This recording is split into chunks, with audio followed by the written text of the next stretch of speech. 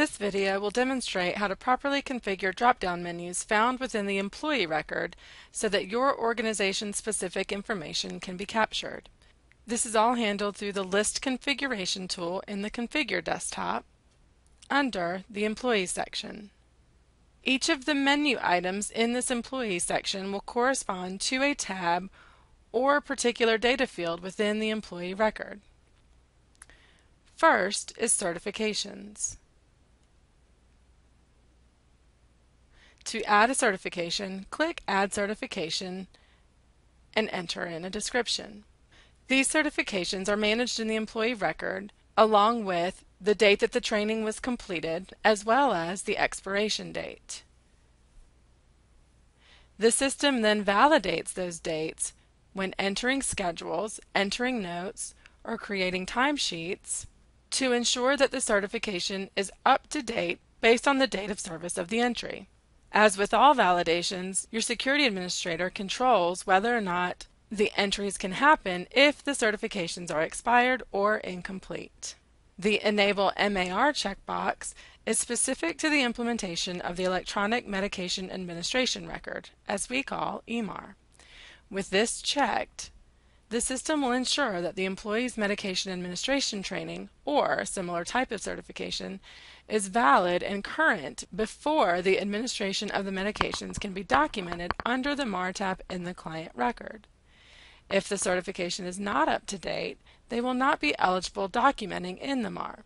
This is the same list that may have been configured under the Client section, since certifications may be assigned to both clients and employees. You may choose to edit this list in either place.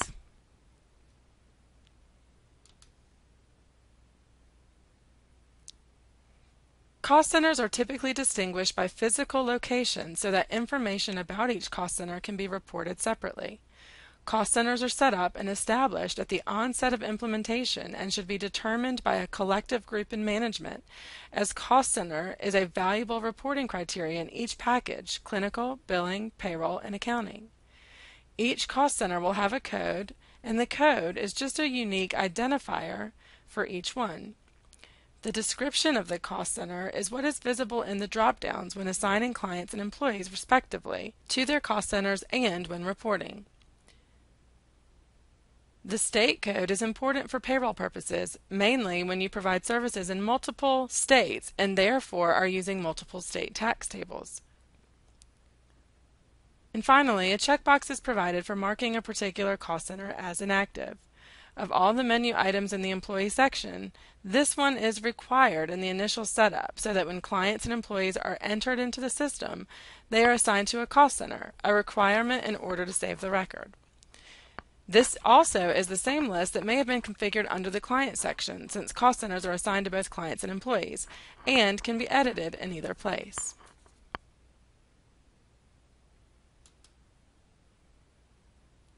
The credential types configuration allows you to restrict services based on specific credentials. By linking the credential type to particular services, you are controlling the set of services that any employee assigned to that credential type can provide. This is useful at the scheduling level so that a scheduler can only schedule employees for the services they are eligible to provide. This is just as useful at the notes, ensuring that staff are able to only write notes against the services specific to their credentials.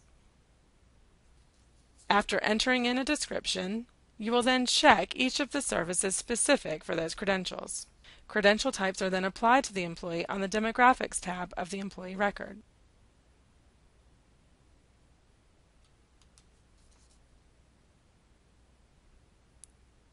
Configuring departments allows you to manage the different departments of the agency. When employees are assigned to departments, you can then report upon each department accordingly. This can be especially helpful when trying to understand payroll cost per department.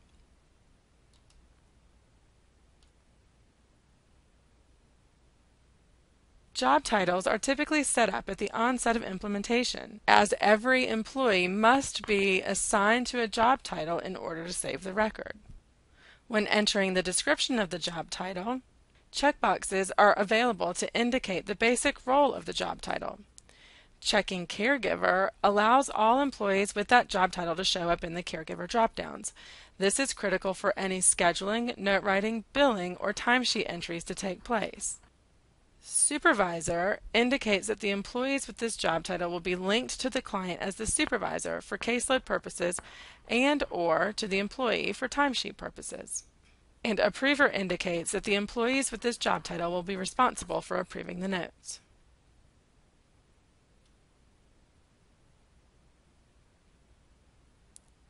If you have implemented scheduling or timesheets, then you will need to set up pay types.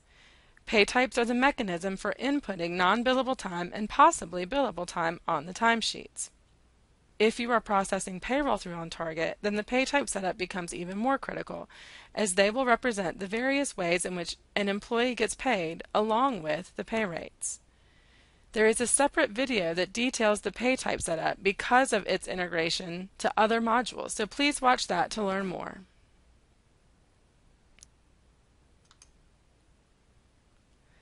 And lastly, pay periods will need to be set up if you intend to implement timesheets.